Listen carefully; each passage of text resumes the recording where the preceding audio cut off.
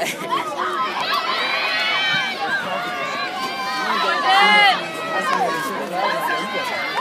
are the results of the girls' 2A 800 meter marathon. In eighth place, Blackiston from Queens. In seventh place, Gumball from. In sixth place, Reynolds from North Caroline. In fifth place, Doleshaw from Harford Tech. In fourth place, McCollum from Northeast.